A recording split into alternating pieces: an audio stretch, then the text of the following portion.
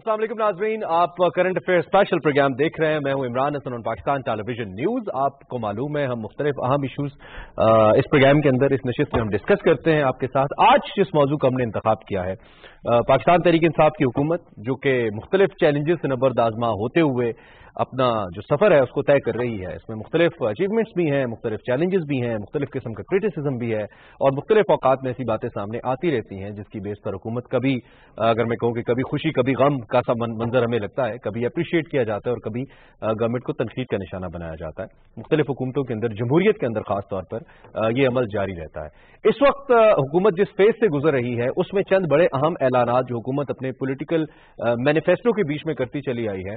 ان کو، ان وعدوں کو نبھانے کا وقت ہے۔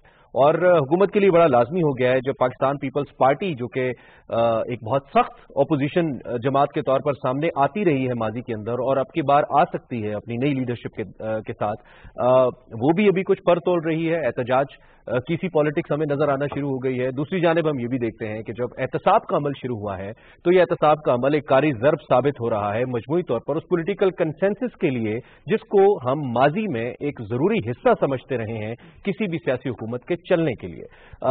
موجودہ حکومت خاص طور پہ وزیر اعظم پاکستان عمران خان صاحب، جو کہ سمبل ہے تبدیلی کا، جنہوں نے تبدیلی کے نام پہ ووٹ لیے ہیں عوام سے، وہ مسلسل یہ کہتے نظر آتے ہیں کہ کوئی بھی عمل کر لیا جائے، ہم احتساب کے عمل سے پیچھے نہیں ہٹیں گے۔ دوسری جانب پولیٹیکل فورسز جو اپوزیشن جماعتیں ہیں، وہ یہ کہتی ہیں کہ پولیٹیکل انجینئرنگ ہو رہی ہے احتساب کے نام پہ، یہ احتساب نہیں ہے۔ اس سارے سینیریو کے اندر حکومت نے کچھ پازیٹو سٹیپس ایسے لیے ہیں ٹورڈز عوام۔ جس میں ان کو لگتا ہے کہ اس کے بعد اب شاید ان کا عوام کے اندر گراف بہتری کی جانب جا سکتا ہے کچھ سخت فیصلے کرنے کے بعد۔ یہ سارا جو بیک گراؤنڈ میں بتا رہا ہوں، یہ اب سے چند دن پہلے پرائم منسٹر نے ایک پروگرام لانچ کیا جو کہ کہنا چاہیے کہ اس حکومت کا پرائم ایک انیشیٹو ہے، وہ ہے پاورٹی ایلیویشن پروگرام جس کے اوپر گورنمنٹ بہت عرصے سے کام کرتی رہی۔ ڈاکٹر ثانیہ نشتر نے ایک ڈاکومنٹ تیار کیا۔ پرائم منسٹر نے آلموسٹ نبے منٹ کی ایک اسپیچ ڈیلیور کی عوام کے سامنے میڈیا کے اوپر اور وہاں پہ موجود حاضرین کے سامنے، جس میں انہوں نے مختلف ایسے ایشوز اٹھائے جو کہ ایک عام آدمی سے متعلق ہیں۔ As far as the speech is concern اس میں مجھے کوئی دو رائے نہیں ہے۔ میں ذاتی طور پہ وہاں پہ موجود تھا۔ ہم نے اس کو کور کیا۔ پرائم منسٹر نے بہت کی ایشوز اٹھائے۔ When it comes to citizen of Pakistan ایک عام آدمی کی بات ہوتی ہے، ایک مزدور کی، غریب کی بات ہوتی ہے، ایک ضرورت مند کی بات ہوتی ہے۔ جس کی شاید اس سے پہلے اتنا فوکسڈ وے میں ترجمانی نہیں کی گئی from the chief executive of the country یہ پہلی مثال ہم نے اگر کہیں کہ دیکھی ہے تو غلط نہیں ہوگا۔ لیکن دوسری جانب اس کے اندر بہت سے چیلنجز بھی موجود ہیں۔ کل پرائم منسٹر کراچی گئے تھے۔ وہاں پہ انہوں نے ایک سو باسٹھ ارب روپے کے پیکجز کا وہاں پہ بھی اعلان کیا۔ دوسری جانب، انتظامی امور کے اوپر کچھ پروجیکٹس ہیں پاکستان تحریک انصاف کے in Peshawar like B R B T جو ریپڈ بس ٹرانزٹ ہے، اس کے اوپر بڑے سیریس سوالات ہیں۔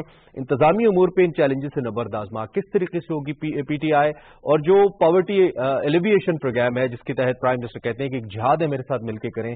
کیا اس بیوروکریسی اس سسٹم کے تحت uh, جو کہ اب تک کچھ بہت بڑے انیشیٹوز لے نہیں پایا اس گورنمنٹ کے آنے کے بعد، یہ پاسبل ہوگا؟ ان تمام چیلنجز پہ بھی بات کریں گے۔ ود دیٹ پولیٹیکل سنیریو کیا ہے اس پہ بھی بات کریں گے۔ ہم sorry for the long intro but یہ بہت ضروری تھا۔ میں اپنے پینل کا تعارف آپ سے کراتا ہوں۔ فہیم سردار صاحب ہمارے ساتھ موجود ہیں۔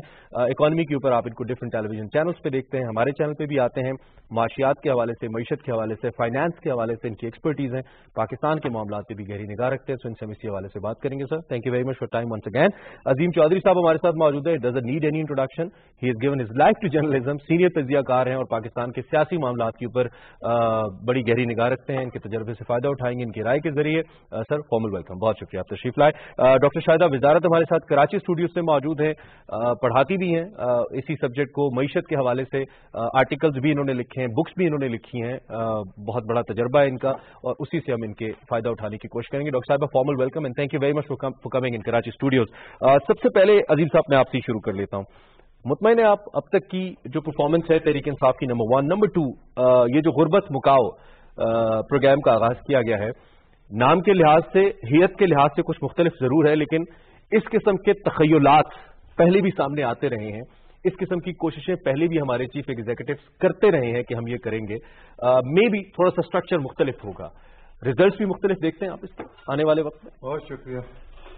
اگر میں آپ کو کسی منظم وسیدہ پرانی، گرتی ہوئی عمارت سے جا کے کھڑا کر دوں اور آپ سے پوچھوں کہ بتائیے اس کی چھتیں مضبوط ہیں کہ نہیں ہیں؟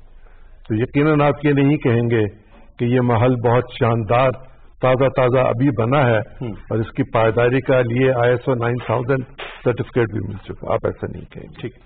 پاکستان کی معیشت کسی ایک دن میں خراب نہیں ہوئی۔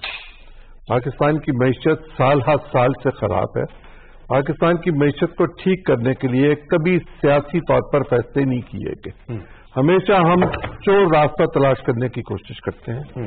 ہم۔ ہمیشہ شارٹ کٹ کی طرف جاتے ہیں۔ اور ہم نے اس بات کو کبھی محسوس نہیں کیا کہ پاکستان کے عوام اور حکومت اور پاکستان کی ریاست کے درمیان ایک عمرانی معاہدہ دستخط ہوا ہوا ہے۔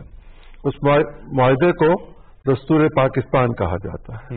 اس دستور کے تحت اس کی دفعہ نو یہ کہتی ہے کہ پاکستان کے لوگوں کو زندگی کا حق دیا جائے گا۔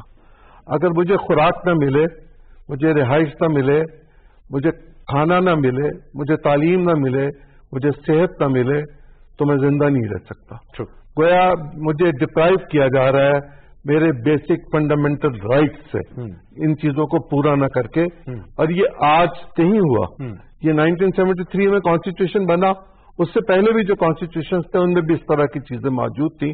سکسٹی ٹو میں بھی تھیں اور ففٹی سکس والے میں بھی تھی اور اس سے پہلے نائنٹین تھرٹی فائیو کا ایکٹ جو تھا اس کے تحت۔ پاکستان میں تین دفعہ کوشش کی گئی کہ یہاں جاگیرداری نظام کو توڑ دیا جائے۔ اور جو زرعی اصلاحات کی گئیں تینوں کی تینوں نامکمل اور غلط ہوئی وہ اپنے ٹھیک نتیجے پہ نہیں پہنچ سکی نتیجہ تن پاکستان کے اندر بڑی جاگیر بھی موجود ہے اور بڑی جاگیرداران ذہنیت بھی موجود ہے۔ پاکستان کے صنعت کار کو نفرت سے دیکھا جاتا تھا۔ ستر کی دہائی میں خاص طور پہ۔ وہ جو ساٹھ کی دہائی میں ترقی ہوئی تھی اس کو ستر کی دہائی میں نیشنلائز کر کے اور صنعت کاروں کو ذلیل و رسوا کر کے ہم نے پاکستان کی معیشت کا بیڑا غرق کر کے رکھ دیا۔ پھر ہم بیرونی قرضوں کے چکر میں چلے گئے۔ اور ہم سے آج تک نہیں نکل سکے۔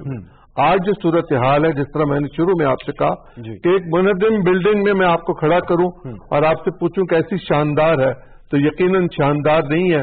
شاندار کرنے کے لیے کچھ اور کرنا پڑے گا وہ دوسرے سیگمنٹ میں ہم اس پہ بات کریں۔ آپ یہ کہہ رہے ہیں کہ اس کی ایک تاریخ ہے اور اس کے لیے اب تک جتنا کچھ کیا گیا ہے خاص طور پر سٹنگ گورنمنٹ کے سیٹ اپ کے اندر سٹنگ گورنمنٹ کے لیے۔ میں تو یہ کہہ رہا ہوں کہ ماضی ان کا تو مہینے ہی ساتھ ہے ٹھیک۔ سات مہینوں میں یہ کیا کر سکتے ہیں؟ اوکے۔ قدرت کا نظام بھی سات مہینے میں کچھ نہیں ہونے دیتا۔ پوائنٹ ٹیکن پوائنٹ ٹیکن فہم صاحب جب بھی آپ گراؤنڈ کے اندر اترتے ہیں آپ ریزلٹس کو پریڈکٹ نہیں کرتے۔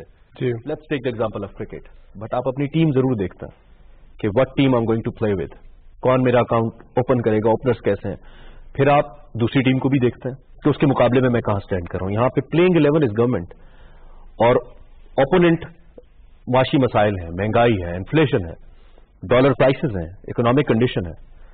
آپ جس پلئنگ الیون کے ساتھ اترے ہیں، جس اسٹریٹجی کے ساتھ اترے ہیں being an economist being a person having a financial back گراؤنڈ آپ اس اسٹریٹجی سے مطمئن ہیں؟ Do you give the full marks to نہیں آئی ڈونٹ کیونکہ جو نیت ہے وہ بہت اچھی ہے، جو کوشش کی جا رہی ہے وہ بھی شاید بہت اچھی ہے پر جس طریقے سے کیا جا رہا ہے۔ ٹھیک ہے جی میں ہمیشہ کہتا ہوں کہ good planning with good execution تب کوئی مسئلہ نہیں ہوگا۔ پلاننگ آپ کی اچھی ہوگی ایکسیکیوشن خراب ہوگی مسئلے پھر آئیں گے لیکن پھر کچھ بہتر ہوگا۔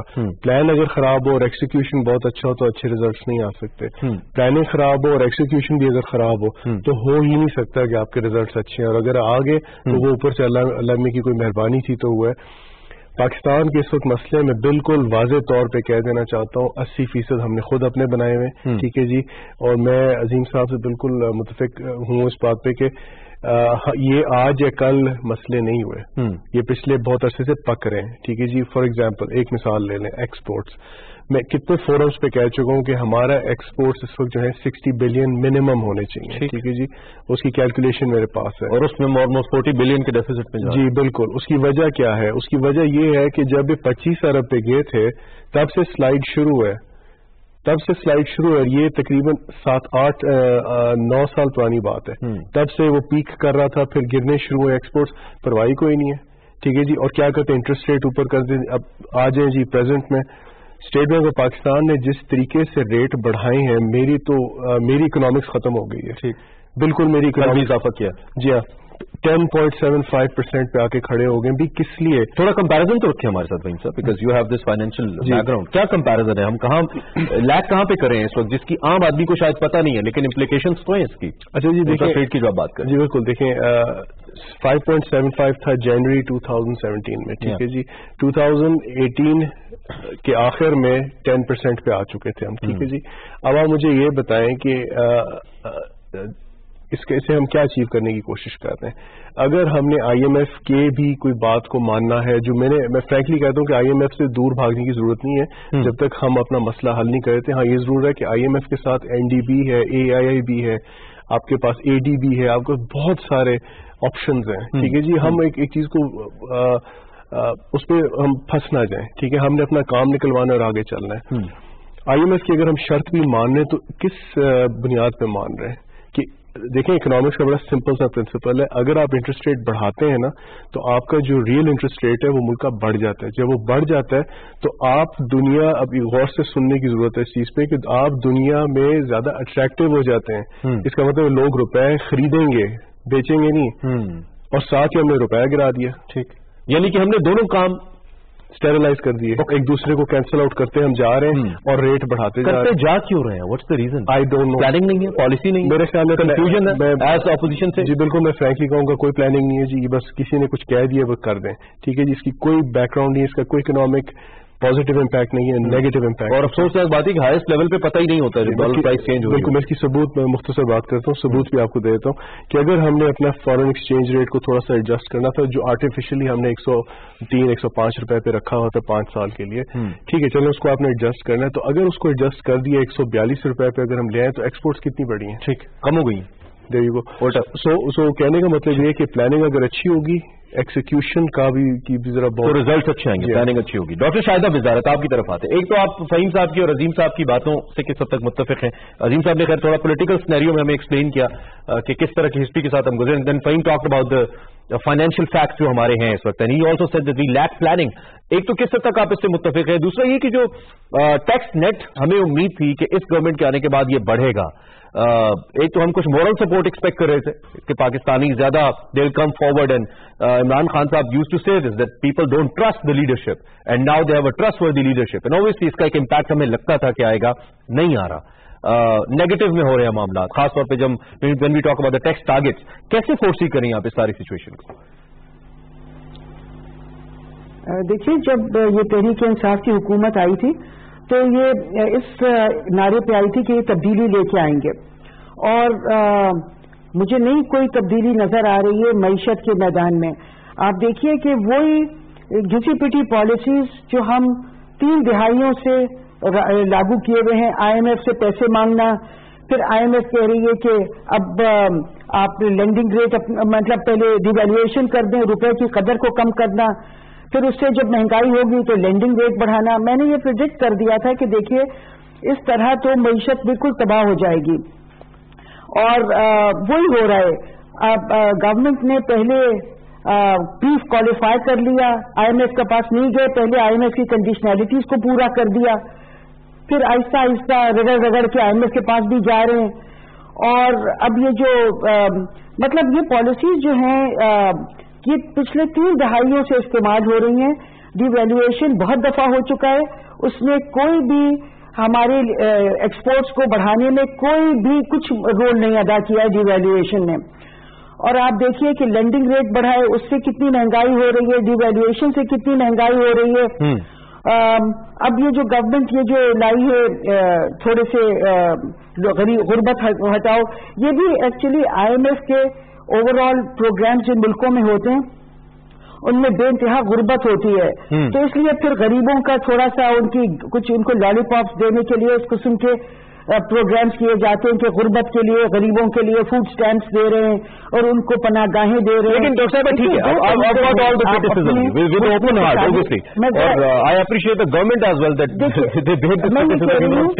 لیکن میں اب آپ سے سوال ڈاکٹر صاحب یہ کرنا چاہتا ہوں کہ آپ لوگ پاکستان کا برین ہے پاکستان کے اوپینین میکرز ہیں ماشاء اللہ and we are blessed to have people like you کریں کیا جی؟ جو ہم کہہ رہے ہیں کہ ڈائریکشن کے ایشوز ہیں فہیم صاحب سیٹ کنفیوژن ہے، کریں کیا؟ لائک ٹھیک ہے، مسائل بھی اتنے بڑے ہیں۔ اب اب کیسے اس اس بھور سے نکلیں کیسے؟ وٹ وٹ ٹو ڈو دیکھیے، بات یہ ہے کہ اگر آپ اس بھون سے نکلنا چاہتے ہیں تو آپ کو آئی ایم ایف کے پاس بالکل نہیں جانا چاہیے۔ اس لیے کیونکہ ہم نے آئی ایم ایف کے پاس جا کے ہم نے نبے کی دہائی میں اپنی معیشت کو بالکل تباہ کر لیا تھا۔ میں نے اس کے بارے میں کئی دفعہ بات آپ مجھے یہاں پہ ہمارے دیکھنے والوں کو تھوڑا سا کلیئر تو کریں نا کہ آئی ایم ایف کے پاس بھی نہ جائیں۔ انفلیشن بھی نہ بڑھے۔ آئی ایم ایف کے پاس نہ جائیں ایکسپورٹس بھی بڑھ جائیں۔ آئی ایم ایف کے پاس نہ جائیں ریزروز بھی بڑھ جائیں۔ آئی ایم ایف کے پاس نہ جائیں غریب کو فائدہ بھی ہو جائے۔ دوسری جانب ہمارے پاس ڈومیسٹک پروڈکشن کتنی ہے ہماری ہماری لوکل مینوفیکچرنگ انڈسٹریز کتنی چل رہی ہیں ہماری بجلی کتنی سستی ہے۔ These are the fact that we all know تو ادھر بھی نہ جائیں یہ بھی نہ کریں۔ ڈو یو تھنک یہ سولوشن ہے ہماری اکنامک کنڈیشن کے جی۔ اندر؟ دیکھیے ادھر جانے سے آئی ایم ایف کے پاس جانے سے آپ کے مسئلے حل نہیں ہوتے اور گمبھیر ہو جاتے۔ ہیں آپ کے پاس پاکستان ایک بہت قدرتی وسائل سے مالا مال ملک ہے۔ ہمارے پاس اتنے وسائل ہیں کہ ہمیں آئی ایم ایف کے پاس جانے کی بالکل ضرورت نہیں ہے۔ پاکستان کی مثال بالکل ایک ایسے امیر دولت مند آدمی کی ہے جو بہت جس کے پاس دولت ہے اور وہ اپنی دولت سب کو مفت میں بانٹ دیتا ہے۔ اور پھر وہ کہتا ہے کہ اب میرے پاس کچھ نہیں ہے اب میں کیا کروں؟ اگر کوئی ایسا انسان ہو تو آپ اس کو کہیں گے کہ ذہنی طور پہ جی۔ دیکھیے ہمارے پاس بہت ریسورسز ہیں۔ ہم اپنے ریسورسز کو مفت میں دے دیتے ہیں سب کو۔ مثال کے طور پہ ہمارے پاس نیٹو کو ہم نے فضائی اور زمینی راستے دیے ہوئے مفت میں بالکل۔ اور ملک جو ہیں وہ اپنے جو وسائل دیتے ہیں مہیا کرتے ہیں اس کے بدلے پیسے لیتے ہیں۔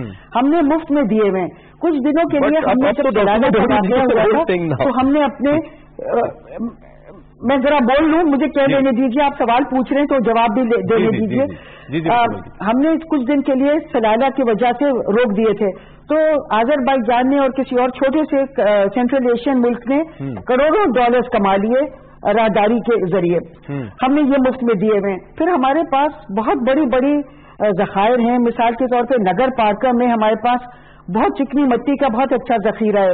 میں نے سنا ہے کہ ہم نے ایک دوست ملک کو سو سال کے لیے زیرو رائلٹی پہ اس کو دے دیا ہے۔ پھر ہم ہم نے نیسلے کو جو ہمارا ایک بہت کیس ریسورس ہے ہم۔ نے نیسلے کو پانی بھی مفت میں دے دیا ہم نے مفت میں دے دی ہے لیز کر دی جو باتیں اگر ہم ڈاکٹر صاحبہ کے پوائنٹس کو ہم کنسیڈر کریں۔ ٹھیک ہے۔ یہ بات ہمیں معلوم ہے کہ we have the minerals we have the location we have the strategic value but ایک تو یہ کہ نیٹو والا تو خیر میرے خیال میں اب اس پرانا آپشن ہو گیا. میرے خیال میں ہم آگے سوچنا چاہیے. نمبر ون نمبر ٹو جو منرلس کی ہم بات کریں نیچرل ریسورسز کی بات کر رہے ہیں یہ بھی ایک لانگ ٹرم چیز ہے. آپ کے پاس اگر گیس ہے تو نکالنے کے لیے بھی پیسہ چاہیے. کوئی کنسورشیمس چاہیے، کوئی بزنس پارٹنرز چاہیے. میرے خیال میں اس گراؤنڈ پہ تو ہم اب تک ٹھیک کھیل لیے ہیں. ہمارے پاس انویسٹرز آنا شروع ہو گئے ہیں. It's a long term thing لیکن ڈومیسٹکلی کہیں پہ ہمیں لوپ ہولس نظر آتے ہیں کہ ہم یہ چیز امیڈیٹلی کر سکتے تھے جو ہم نے نہیں کی. جیسے کہ ساگ ڈار صاحب ہمارے جو سابق وزیر خزانہ ہے انہوں نے یہ کہا کہ جی آپ نے کیوں کنٹرول نہیں کیا ڈالر پرائسز کو؟ آپ ٹوئنٹی سیونٹین کی پالیسیز کے مطابق اس کو واپس لے کے آئیں، پھر آپ اپنی اسٹریٹجیز کیوں لیک کریں کہ ہم up to this level dollar کو لے کر جائیں گے؟ جس کے بعد گورنمنٹ کی پوزیشن کو باقی حکومتیں ڈٹرمن کریں کہ جی یہ حکومت تو اس جانب جا رہی ہے اکانومی اس طرف جا رہی ہے۔ یہ آپ نہ کریں۔ اگر میرے پاس ایک ٹریلین ڈالر ریزرو میں ہو، تو میں ڈالر کو تین روپے پہ لا سکتا اور اگر میرے پاس ادھار کے پیسوں سے فورن ایکسچینج موجود ہو تو ڈالر میری حد سے باہر ہے۔ پھر مجھے ڈالر کے رحم و کرم پر رہنا ہوگا۔ اگر میرے پاس قرض دینے کے لیے پیسے نہیں ہیں اور میں عادی ہوں میں نوشی کا تو پھر میں میں نوشی کے لیے کیا کروں گا؟ یہ ٹکرے ماروں گا؟ یا میں کسی سے بھیک مانگوں گا یا میں اس کو چھوڑ دوں گا؟ اگر میں چھوڑ دوں میں نوشی تو شاید میں سنبھل جاؤں۔ اور اگر میں ٹکرے مارتا پھروں تو پھر غالب کے بقول مفت کی پیتے تھے تو وہ بات جو اپنی جگہ پر موجود رہے گی۔ گزارش یہ ہے کہ یہ درست ہے کہ پاکستان کے پاس بے شمار معدنیات ہیں۔ سونا ہے تانبا ہے گیس ہے تیل ہے۔ جانے کیا کیا ہے کچھ ایسی چیزیں ہیں جو اسٹیٹ ٹی وی پہ بیٹھ کے بولی بھی نہیں جا سکتی جو ہمارا بہت بڑا ایسٹ ہے۔ لیکن ان سب کے لیے آپ کی اسٹریٹجک پوزیشن جو ہے اس کو بھی ذرا ذہن میں رکھ لیجیے یہ دیکھ لیجیے کہ آپ کے دائیں بائیں آپ کے ساتھ کیا ایکٹیویٹی ہو رہی ہے۔ آپ کو ڈیفینس پہ کتنا پیسہ خرچ کرنا پڑتا ہے؟ جی۔ آپ کو اپنے ملک کے معاملات کو سنبھالنے کے لیے بلین آپ کو اپنے ملک کے معاملات سنبھالنے کے لیے اب صوبوں کے آپ رحم و کرم پر چلے گئے ہیں۔ وہ لوگ جو اٹھارہویں ترمیم کا قصیدہ گاتے ہیں وہ مجھے یہ بتا دیں کہ کمزور وفاق کے ساتھ ایک ایسی اسٹیٹ کس طرح چل سکتی ہے۔ دوسرا معاملہ یہ کہ آئی ایم ایف کے پاس جانا یا نہ جانا یہ فیصلہ تو حکومت نے کرنا ہے۔ لیکن پوری دنیا چیخ چیخ کے یہ کہہ رہی ہے۔ پاکستان کے فارمر فائنانس سیکرٹریز بھی یہ بعض بات روز ٹی وی پہ بیٹھ کے کہہ رہے ہوتے ہیں کہ جتنی جلدی چلی جائیں اتنی جلدی آپ کے معاملات ٹھیک ہو جائیں گے کیونکہ دنیا کو تشویش ہے آپ کے معاملات پہ۔ اور جب آپ آئی ایم ایف کے پاس جائیں گے تو دنیا کو اس بات کی تسلی ہوگی کہ چیزیں محفوظ ہاتھوں میں ہیں اور ٹھیک طرف چلیں گی۔ دوسری طرف گزارش یہ ہے کہ جس جب آپ جمود کو توڑنا چاہتے ہیں تو جمود کو توڑنے کے لیے آپ کو ڈبل قوت چاہیے ہوتی ہے۔ اس فلو میں تو آپ بہ جاتے ہیں لیکن آپ جب اس فلو کے خلاف چلتے ہیں تو پھر چیزیں اور طرح سے دیکھنی ہوگی۔ جو فہیم صاحب نے بات کی کہ کنفیوژن ہے میرا خیال ہے کوئی کنفیوژن نہیں ہے گورنمنٹ کو پتا ہے۔ آپ اگری نہیں کرتے اس بات کنفیوژن مجھے مجھے کنفیوژن نہیں نظر آتا میں جانتا ہوں اسد عمر کو ذاتی طور پہ۔ مجھے کوئی کنفیوژن ان کی گفتگو میں میں حماد کو بھی جانتا ہوں۔ مجھے کوئی کنفیوژن نظر نہیں آتا۔ مجھے بالکل کلیئرٹی نظر آتی ہے۔ ان کو پتا ہے سچویشن بہت خراب ہے۔ ان کو یہ پتا ہے کہ اس کو ٹھیک کرنے کے لیے مشکل فیصلے کرنے پڑیں گے۔ پاکستان کی کسی حکومت نے کبھی پولیٹیکلی اتنے سخت فیصلے نہیں کیے اکنامکس کے حوالے سے۔ جو وہ کرنے جا رہے ہیں جو وہ کر چکے ہیں جن کو وہ امپلیمنٹ کریں گے۔ اور اس کے نتیجے میں جو کچھ بھی ہوگا اس کو تو انہوں نے برداشت کرنا ہے پولیٹیکلی نتیجہ بن کیا ہوگا؟ جب تک ہم کینسر کا علاج نہیں کریں گے ہم مریض کو صحت یاب نہیں کر سکتے۔ ہم۔ تو کینسر زدہ معیشت کے ساتھ زندہ ہیں۔ اور اس کو ٹھیک کرنے کے لیے ہمیں ایک اچھے ڈاکٹر کی ضرورت ہے۔ لیکن ہم نے اپنی ایکسپورٹس کو بڑھا دیکھیں جو بھی رستہ ہے اس کی میں کر دیتا ہوں آپ کو بات۔ گزارش یہ ہے کہ بجلی مہنگی ہو گیس مہنگی ہو تیل مہنگا ہو۔ مینوفیکچرنگ مہنگی ہوگی۔ تو مینوفیکچرنگ مہنگی ہوگی آپ دنیا میں کہیں کمپیٹ ہی نہیں کر سکتے۔ جب آپ کمپیٹ کر سکتے تھے تو کر لیتے تھے۔ پھر دوسرا یہ کہ ہم اپنی کوالٹی جو ہے اس کو کمپرومائز کر جاتے ہیں۔ بنگلہ دیش کیوں نہیں کرتا؟ اپنی کوالٹی کو وہاں تو کاٹن پیدا ویلو ایڈیشن نہیں ہے تو ہمارے ہاں تو یہ معاملات اپنی جگہ پر موجود ہیں۔ ہم اینٹیں بھی ڈال کے بھیج دیتے تھے۔ تو ہمارے ہاں وہ چیک اینڈ بیلنس اور ہوتا کیا تھا؟ ہوتا یہ تھا کہ ایک ریبیٹ ملنا ہوتا تھا ایکسپورٹ پہ۔ اس ریبیٹ کو لینے کے لیے آپ کو سیاسی حمایت کی ضرورت ہوتی تھی۔ اور آپ کو اپنے ملک کو چلانے کے لیے ان لوگوں کی ضرورت ہوتی تھی جو یہ کام کرتے تھے۔ ایک ملی بھگت کے ساتھ اس ملک کی اکانومی کو تباہ برباد کر دیا گیا۔ اگر پرائم منسٹر کھڑا ہو کے یہ کہے کہ مجھے ایف بی آر کو ریسٹرکچر کرنا پڑے گا ایف بی آر ٹھیک کام نہیں کرتا تو میں کس کی تعریف کروں؟ اور کیوں کروں؟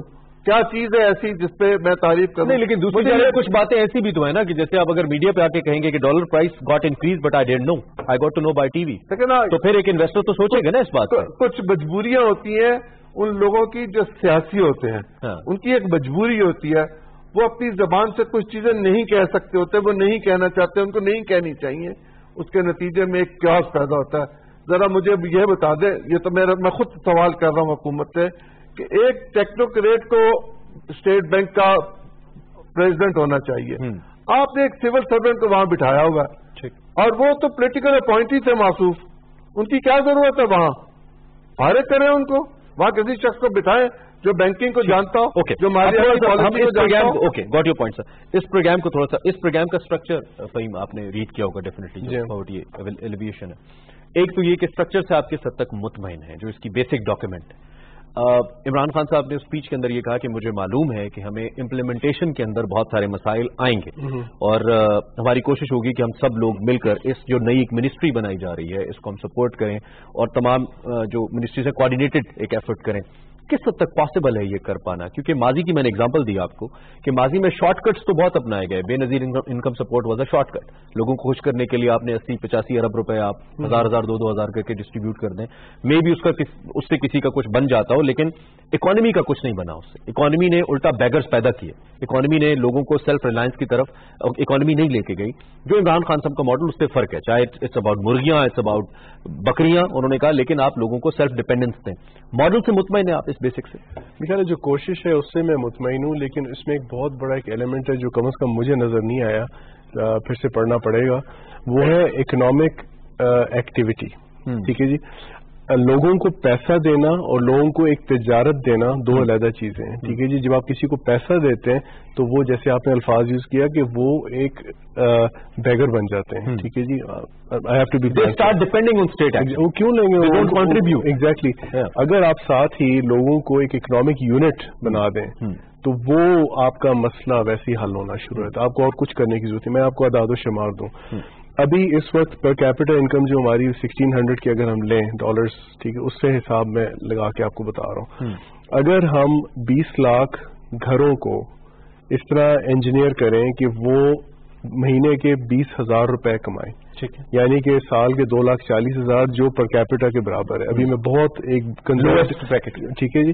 کنزرویٹو ایسٹیمیٹ آپ کو دے رہا ہوں۔ یہ تقریباً چار سو اسی ارب روپے بنتے ہیں ایک سال کے ٹھیک ہے؟ تجارت میں یعنی کہ آپ کی جی ڈی پی بڑھ جاتی ہے۔ اور اکنامک ایکٹیویٹی بڑھ جی۔ جاتی ہے۔ اور یہ میں بیس لاکھ گھروں گھروں کی میں بات کر رہا ہوں۔ ٹھیک ہے۔ آگے ہیں اگر ہم بیس لاکھ بزنسز ٹھیک ہے؟ چھوٹے بزنسز کو ہم اس طرح انکریج کریں کہ وہ مہینے میں صرف پچاس ہزار روپے کمائیں۔ وہ اگر ہم بیس لاکھ بزنسز کو یہ ہم اس نیٹ میں لے کر آئیں یہ ایک اشاریہ دو خرب روپے بنتے ہیں ایک سال کے ٹھیک۔ ہے جی؟ اور یہ جب آپ ایڈ آن کرتے ہیں کمپاؤنڈنگ افیکٹ آنا شروع ہو جاتا ہے۔ تو آپ کے ٹیکس کا بھی ایشو ریزالو ہو گیا پاورٹی کا بھی ایشو ریزالو ہونا شروع ہو جاتا ہے۔ آپ کے بے شمار اگر صرف ہینڈ آؤٹ کرنے ہیں پیسے میں اس کے سخت خلاف ہوں۔ ہاں اگر اگر ان کو ادھر سے پیسہ دینا لیکن اس میں کیا یہ بزنس ایکٹیویٹی سم ہاؤ یا لوگوں کی سیلف ڈیپینڈنس جیسے میں نے مرغیوں کا ذکر کیا بل گیٹس نے اسٹیٹمنٹ دی۔ پہلے Imran Khan was being trolled by the people کہ جی یہ کیا مرغیوں ہاں۔ کی اور کٹوں کی باتیں کر رہے ہیں when he said but when it it came from Bill Gates Imran Khan نے کیا۔ بیسیکلی ٹیسٹڈ ماڈل دنیا کے اندر تو کچھ نہ کچھ تو اس سے ایکٹیویٹی جنریٹ ہو رہی ہے نا انڈائریکٹ ہو رہی ہے پرائم منسٹر عمران خان نے بالکل صحیح کہا تھا جس طریقے سے انہوں نے کہا تھا وہ بہت بلنٹلی بول جاتے ہیں۔ ٹھیک ہے جی he doesn't package his his یہ میں بہت فورمز پہ کہہ چکا ہوں کہ اس گورنمنٹ کو اپنی جو انفارمیشن اس کو پیکج کرنے کی بہت ضرورت ہے. بہت بلنٹلی کہہ جاتے ہیں۔ کیا وہ ٹھیک رہتے ٹھیک ہے جی وہ بالکل گراس روٹ لیول کی سبسسٹنس لیول کو بلڈ اپ کرنا چاہ رہے تھے۔ وہ غلط نہیں کہہ رہے تھے۔ میں اضافہ جو ابھی ہم نے گفتگو کی تھی پچھلے راؤنڈ میں میں اس میں یہ اضافہ یہ کرنا چاہوں گا کہ سارے ہمارے مسئلے ریزالو ہو سکتے ہیں۔ اگر ہم تھوڑی سی مثبت پلاننگ کریں اور تھوڑی سی ذرا کیئرفل ایکسیکیوشن کریں یہ سارے ریزالو ہو سکتے ہیں۔ ٹھیک ہے۔ اور ڈاک- جی، ڈاکٹر صاحب ڈاکٹر اسی پروگرام کے حوالے سے ایز مائی پارٹیسپینٹ سیٹ کہ شاید ہمیں تھوڑا فوکس ہونا پڑے گا وی کین ڈو اٹ آپ نے بھی اسٹڈی کیا ہوگا اس ڈاکیومنٹ کو دیکھا ہوگا ہمارے جو بیسک سوشل ایشوز ہیں اور بیسک جو پاورٹی کے مسائل ہیں اس کو لے کر آپ کو لگتا ہے کہ یہ کمپریہنسو پلان ہے اگر ایگزیکیوشن ٹھیک سے ہو گئی تو اس کے ریزلٹس بہتر آئیں گے عام آدمی کو فائدہ ہوگا دیکھیے میں آپ سے یہی کہنا چاہ رہی تھی پہلے بھی کہ دو طریقے ہیں لوگوں کو خوشحالی لانے کے۔ ایک تو یہ ہے کہ آپ اپنی پالیسیوں کو صحیح کریں تاکہ ملک میں جو اسٹرکچرل چینج لے کے آئیں تاکہ اس سے غربت ختم ہو خوشحالی آئے۔ دوسرا طریقہ یہ ہے کہ اگر آپ اپنی پالیسیوں کو نہیں بدل رہے ہیں آپ وہی پالیسیاں لے کے چل رہے ہیں تو اس سے جو غربت پیدا ہو رہی ہے تو آپ غریب لوگوں کے لیے کچھ اس قسم کے پیدا کریں کچھ انکم جنریشن ان کو پیس میل میجرز کہا جاتا ہے۔ یہ پیس میل میجرز ہیں ان کا بہت زیادہ ڈینٹ نہیں ہوگا اوور آل ملک کے غربت پہ۔ اوور آل اگر آپ غربت کو ٹیکل کرنا چاہتے ہیں تو آپ اپنی پالیسیوں کو صحیح کیجیے اور پالیسیوں کو صحیح کرنے کا مطلب یہ ہے کہ آپ آئی ایم ایف کے پاس نہ جائیں کیونکہ آئی ایم ایف کی جو پالیسیز ہیں وہ ملک کی معیشت کو کانٹریکٹ کر دیتی ہیں ریسیشنری ہوتی ہیں۔ تو اگر آپ آئی ایم ایف کے پاس جائیں گے تو آپ اپنی معیشت کو خوشحالی نہیں لے کے آ سکتے۔ اور مجھے یہ بھی پتا چلا ہے اب دیکھیے پاکستان کو کتنے لوگوں نے کتنے دوست ملکوں نے قرضے دیے ہیں۔ مگر مجھے یہ پتا چلا ہے بڑے باوسوخ ذریعے سے کہ پاکستان میں جو آئی ایم ایف کی لابی ہے ورلڈ بینک کی لابی یا امریکی لابی کے ہیں وہ پس پرد- پردہ بہت زور لگا رہی ہے کہ پاکستان آئی ایم ایف سے ضرور قرضہ لے۔ اور اس کی وجہ یہ ہے کہ وہ سمجھتے ہیں پاکستان کو پیسے اتنے نہیں چاہیے؟ پاکستان کی معیشت کو کنٹرول کرنا بہت ضروری ہے۔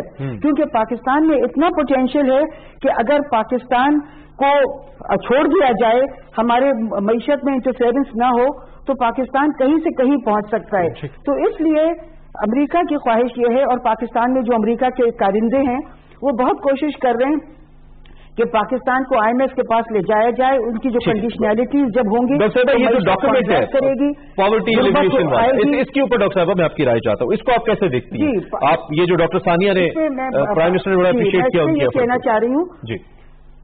جی یہ بھی اس کا بھی ایک تسلسل ہے۔ آئی ایم ایف کی پالیسی سے جن ملکوں میں آئی ایم ایف کی پالیسیز آتی ہیں وہاں بہت غربت ہوتی ہے۔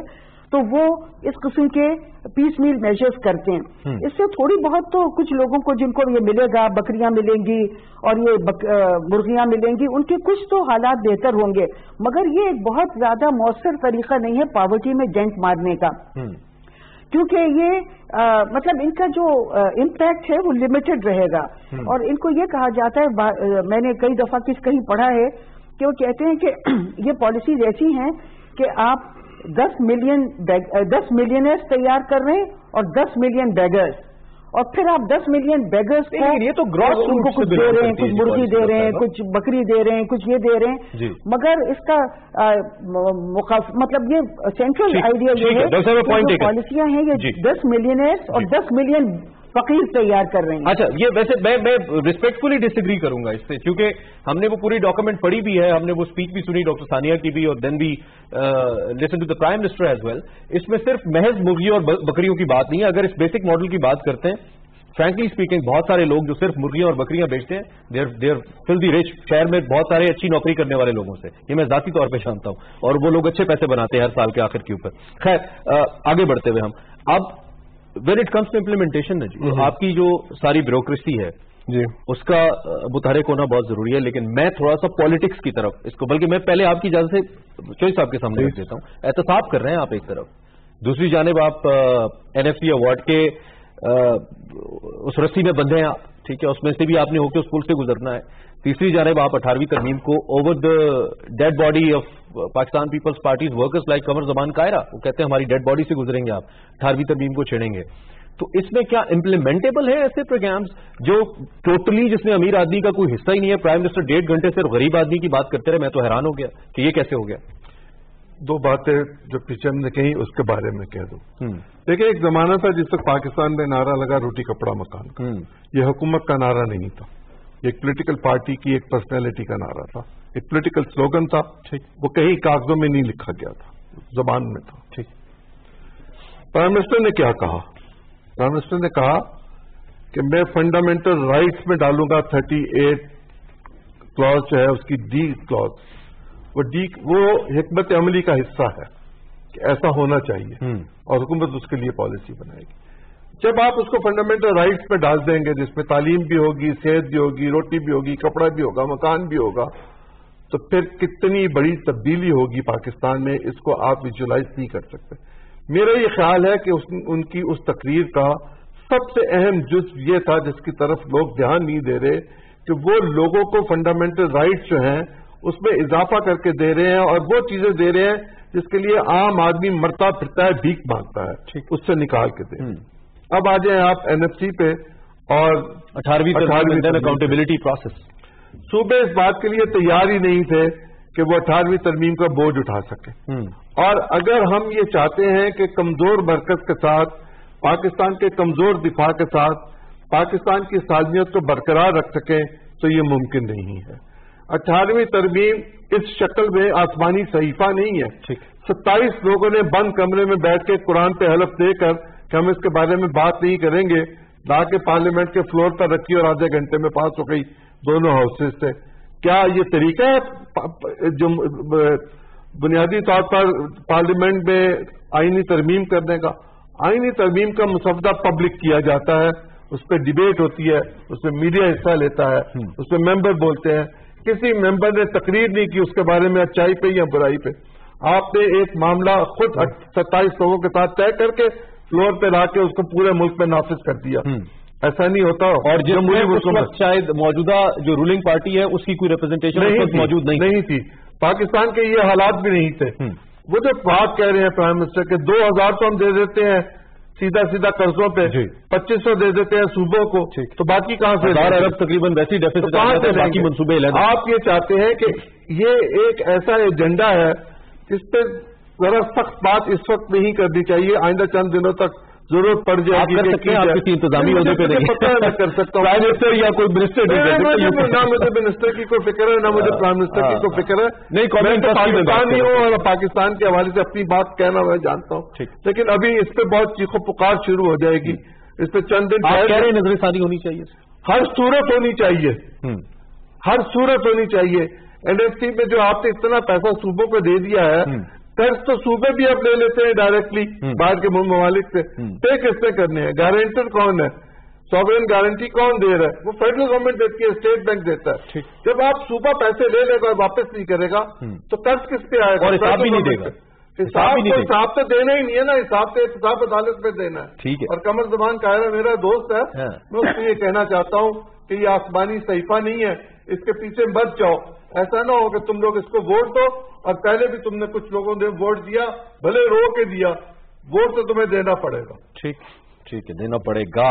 اس گا پہ آپ نے بڑا خیر۔ صاحب، اب ہمارے سامنے ہے نا چونکہ ساری فلم جو ہم دیکھ رہے ہیں۔ Honeymoon period is over for the new government honeymoon sort of جس میں they they're learning or planning they were establishing their structure آپ کے خیال میں وہ اوور ہو چکا یہ ایک عجیب سی شادی تھی جس میں ہنیمون پہلے تھی با شادی بعد میں ہوئی تھی مطلب I mean very simply honeymoon کا تھا ہی نہیں ہنیمون تھا ہی نہیں ان کو ایک طرف سے فائدہ بھی تھا کہ گریس پیریڈ دیٹ وی نئے ہیں to be honest there was no grace period ٹھیک ہے جی اینڈ ٹو بی آنےسٹ کہ میں پالیٹکس زیادہ نہیں سمجھتا لیکن جو دو آپ کی جو زخمی حاکم رہے ہیں پچھلے تیس چالیس سال سے وہ تو بڑے اس چیز پہ تپے ہوئے تھے کہ یار ایک نئی پارٹی کیسے آ سکتی ہے؟ سو جی، کالڈ تو کیا کہتے ہیں میں ویسے ڈیموکریسی کو کچھ سمجھ نہیں سکا آج تک جو بھی میں نے آج تک پڑھا ہے۔ تو کہنے کا مطلب یہ کہ میں صرف اکنامکس کو دیکھوں گا اور مینجمنٹ کو دیکھوں گا۔ کہ دیکھیں جی یہ ایک ہوتا ہے نا کہ آپ ایک ہنڈریڈ میٹر کی ریس ہوتی ہے ٹھیک ہے جی سارے ایک وقت پہ چلتے ہیں ٹھیک ہے۔ کئی لوگ یہ ایسی ریس ہے جس میں کئی لوگ درمیان میں کھڑے ہوئے تھے کئی لوگ ہیں جو اسٹارٹ لائن سے پیچھے ان کو کھڑا کیا گیا۔ اور اب وہ کر کے جی ابھی ہنڈریڈ میٹر ریس کرو یوسین بولٹ سے پہلے ٹھیک۔ ہے ہو ہی نہیں سکتا۔ تھوڑا سا ایزی کریں اس کو۔ یہ جو ابھی این آر او کی باتیں ہو رہی ہیں۔ Prime minister keep on saying N R O نہیں ملے گا۔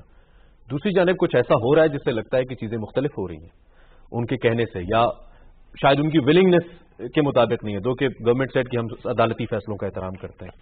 آپ کو لگتا ہے کہ یہ چیزیں آنے والے وقت میں گورنمنٹ کے لیے اس پلینگ فیلڈ کو آسان کریں گی to make things easier to make better decisions as sir said یہ کرنا پڑے گا آپ کو۔ اگر آپ اس کے حق میں نہیں بھی ہیں آپ سمجھ رہے ہیں میں کیا کہہ رہا ہوں۔ گورنمنٹ کے لیے معاملات آسان ہو رہے ہیں فیصلہ سازی کے لیے یا مشکل ہو رہے ہیں آنے والے میرے خیال ہے آسان ہو رہے ہیں ایز وی پروگرس کیونکہ دیکھیں یہ کڑوے گھونٹ لینے کا موسم ہے تو پھر ایک اور دو چار کڑوے گھونٹ لے لیں۔ ان سے بھی مسئلہ حل کریں۔ بات سیدھی سی ہے سعودی عربیہ نے کیا کیا تھا؟ انہوں نے جس جس نے کرپشن کی تھی جی. انہوں نے پیسے لیے تھے جی۔ ٹھیک ہے۔ امریکہ نے یہ کیا ہے سعودیہ نے یہ کیا ہے نائجیریا یہ کر رہا ہے فلپینز یہ کر چکا ہے پھر ہم کس بات پہ اتنے رکے ہوئے وہ عوام کا پرائم منسٹر کہہ چکے ہیں پیسے دیں ہم۔ سمپل سی بات ہے ٹھیک ہے جی اتنے اماؤنٹ آ سکتی ہے کہ ہمیں یہ سارے ایشوز جن پہ ہم اتنی بحث کر رہے ہیں یہ پھر ہسٹری کا حصہ پیسے آئیں گے؟ پیسے دینے پڑیں گے۔ فواد چودھری بھی ہمارے انفارمیشن منسٹر بھی کہتے ہیں پیسے دو۔ دیکھیں اگر کچھ این آر او ٹائپ کی چیز چاہیے تو پیسے دو۔ تو خیر وقت بھی تھوڑا ہے لیکن یہ فورم بھی نہیں ہے یہ بات کرنے کا یہ کوئی پولیٹیکل پروگرام ہوتا تو اس میں جی۔ میں بات کرتا۔ آپ کون ہیں بھائی؟ توشہ خانے کی چیزیں گھر لے جانے والے۔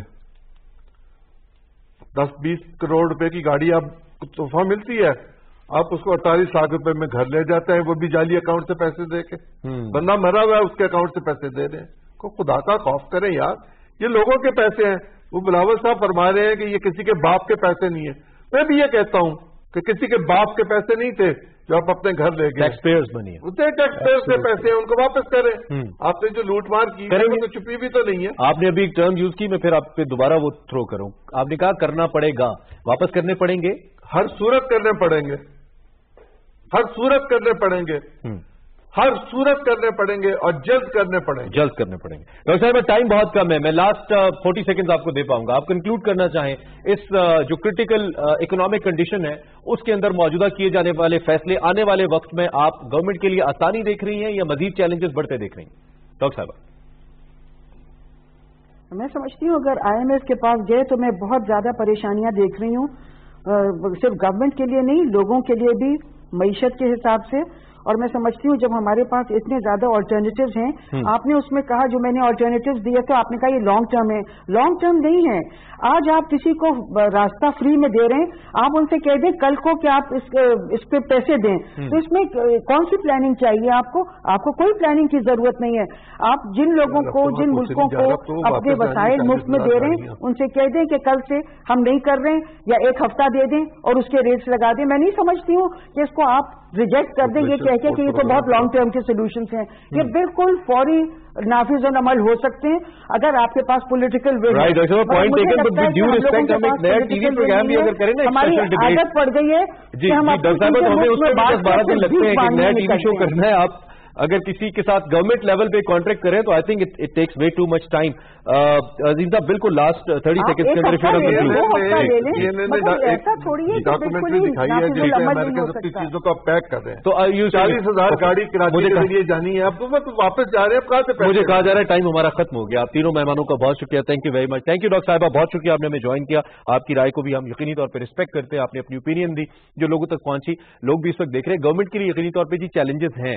یہ جو ڈاکومنٹ آیا میں اس کو بڑا پازیٹیولی دیکھتا ہوں being a student of economics student of political sciences اس وقت جن چیزوں پہ فوکس عمران خان صاحب کا اور اگر یہ کہیں کہ ہم نے کسی غریب کو گورنمنٹ نے یہ لالی پاپ دیا ہے تو میں اسے ڈس ایگری اس لیے کروں گا چونکہ یہ عمران خان صاحب کا ایک برین چائلڈ ہے جب وہ انہوں نے پہلی اپنی اسپیچ کی تھی اسٹنٹڈ گروتھ کی اس میں انہوں نے بات کی تھی جب انہیں پتا بھی نہیں تھا کہ انہیں پرائم منسٹر بننے کے لیے ابھی کتنے ووٹ مزید چاہیے کتنے بنیں گے یہ اس وقت کی بات ہے اور اس سے پہلے بھی کرتے آئے ہیں تو عمران خان صاحب کی کچھ چیزیں جو فنڈامنٹلی ہم اگر ان سے کہیں تو ڈس ایگری نہیں کر سکتے بینگ پرائم منسٹر اب وہ اپنی اس اتارٹی کو بینگ پرائم منسٹر استعمال کرنا چاہتے ہیں۔ انیشیٹو بہت اچھا ہے۔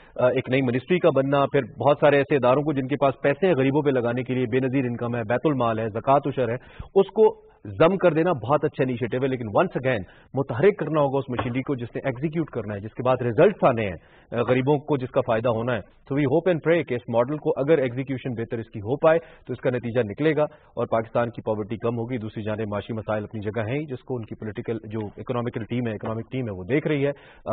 ہم اس کا فیڈ بیک آپ سے بھی لیتے رہیں گے اور اس پہ فالو بھی کرتے رہیں گے۔ Follow my Twitter by searching Imran کسی اور پروگرام میں آپ سے ملاقات ہوگی۔ اللہ حافظ۔